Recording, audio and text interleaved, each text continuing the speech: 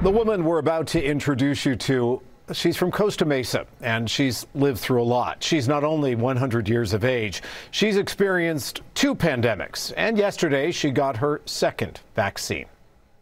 Well, I was born during the Spanish flu, and here we are, 100 years later. Meet Madelyn Ryan with her daughter Nancy. Madelyn says she's feeling great after getting the vaccine and celebrated by treating herself. She got a mani pedi. Her daughter Nancy also got the vaccine. She is a nurse working on the front lines in Long Beach.